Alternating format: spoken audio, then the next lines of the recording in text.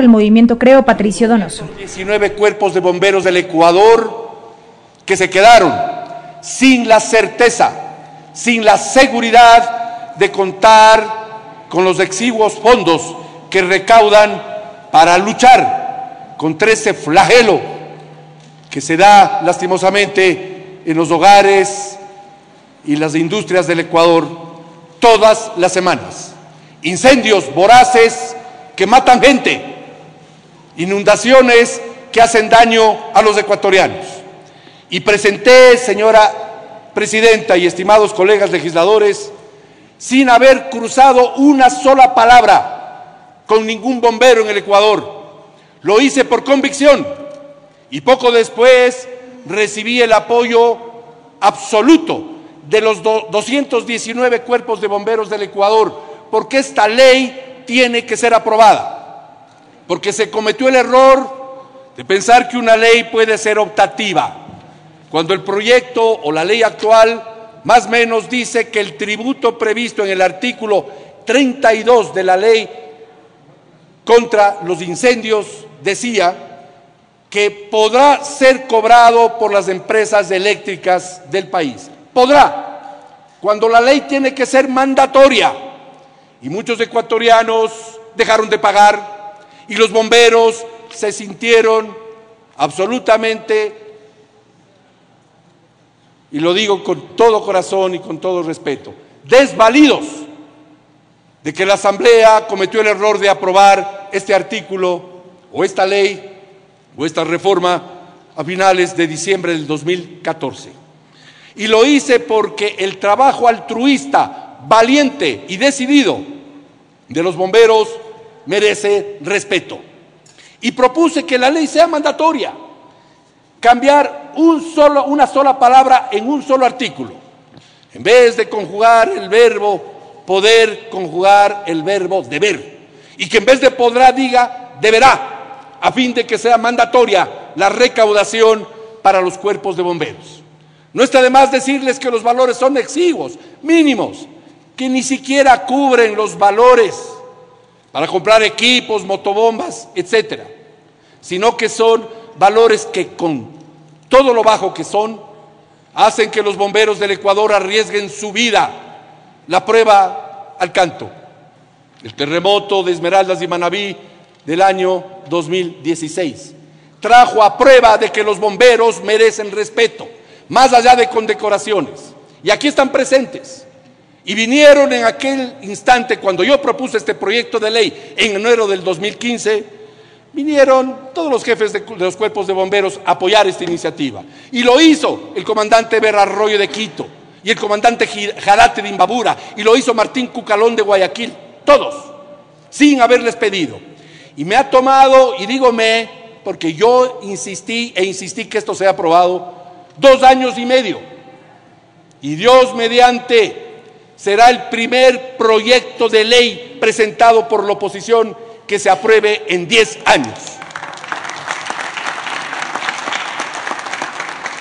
Hace 96 años, casi 100, señora presidenta, se fundó el Cuerpo de Bomberos de Quito.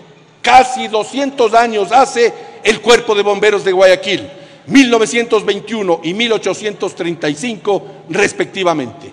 Y no puede ser que en los albores del siglo XXI, decía yo en el 2014, queden desprovistos de la certeza y la seguridad de poder combatir los incendios, inundaciones y demás.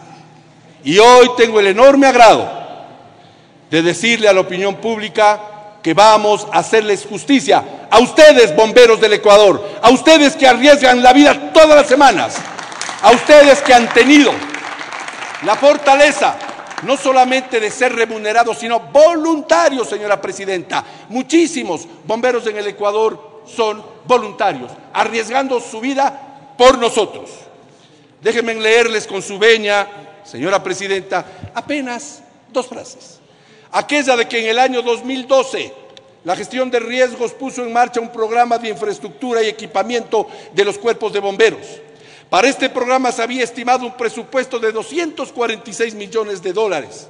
Sin embargo, fue cerrado a inicios del 2014 aduciendo falta de recursos. Y aquí viene la parte grave. según la línea base realizada a inicio de este programa, basado en 207 cuerpos de bomberos del Ecuador, se estableció que los cuerpos de bomberos del país poseían escasamente el 8.2% de su valor ideal. Repito, apenas reciben el 8.2% del valor ideal para combatir los flagelos, para ayudar a la ciudadanía, para comprar equipos, para comprar motobombas y para tener dignidad. Por eso es que este proyecto tiene que ser aprobado. Y después, en pocas semanas, deberemos ver cómo subir esos exiguos valores para que esta gente arriesgada y valiente siga luchando por todos los ecuatorianos. Aquí está presente, aquí en esta asamblea, está presente la teniente voluntaria del cuerpo de bomberos, Erika Poveda. Aquí está presente. Quien ha tenido la generosidad de obsequiarme este casco de bomberos. Es un casco de bomberos que no me atrevo a ponérmelo, porque esto solo se ponen aquellos que han luchado con valentía por las familias ecuatorianas. Y bajo este casco y estos cascos están cerebros y cabezas de ecuatorianos y ecuatorianas que tienen mucho talento, pero un corazón más grande, porque vencen el riesgo que sus propias cabezas dicen y con el corazón henchido de valentía superan lo que dice su cerebro. Esa es la verdad. Por eso no me lo pongo, por respeto a los bomberos del Ecuador.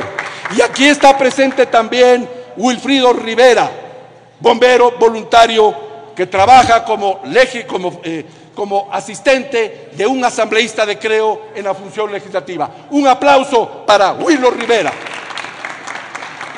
Concluyo, señora presidenta, por supuesto pidiendo a esta asamblea que apruebe este proyecto que es justo pidiéndoles que lo hagan con el corazón henchido de generosidad.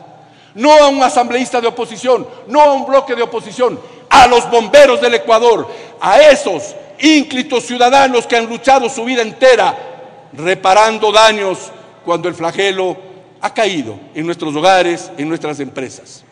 Los valores que reciben son de apenas el 0,50%, escúcheseme bien, 0,50% del salario unificado en cuanto a residencias, 1,50 en comerciales, 3 en industriales y 6% de ese valor exiguo de los grandes contribuyentes. Es decir, los ecuatorianos somos muy buenos para recibir, pero ya es hora que entreguemos también, entreguemos nuestra alma, nuestro corazón, nuestra decisión a aquellos ecuatorianos que se la fajan todos los días.